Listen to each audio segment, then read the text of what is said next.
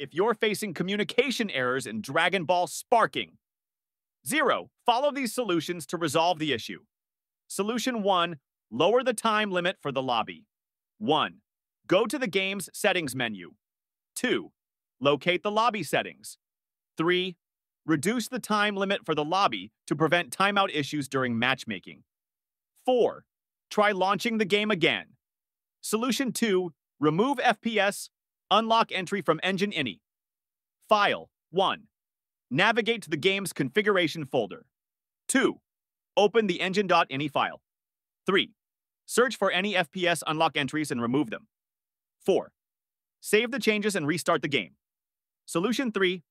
Flush DNS. 1. Press Windows plus R and type CMD. Then press Enter. 2.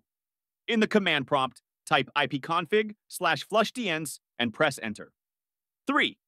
Wait for the process to complete, then restart the game. Solution 4. Try Google DNS. 1.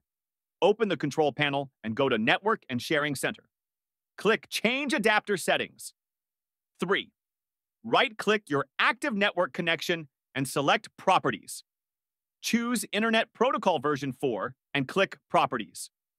Select Use the following DNS server addresses. 6. Enter 8.8.8.8 and 8.8.4.4 for Google's DNS. 7. Restart your PC and relaunch the game. Solution 5. Verify the game files. 1. Open Steam and go to your library. 2. Right-click on Dragon Ball. Sparking 0 and select Properties. 3.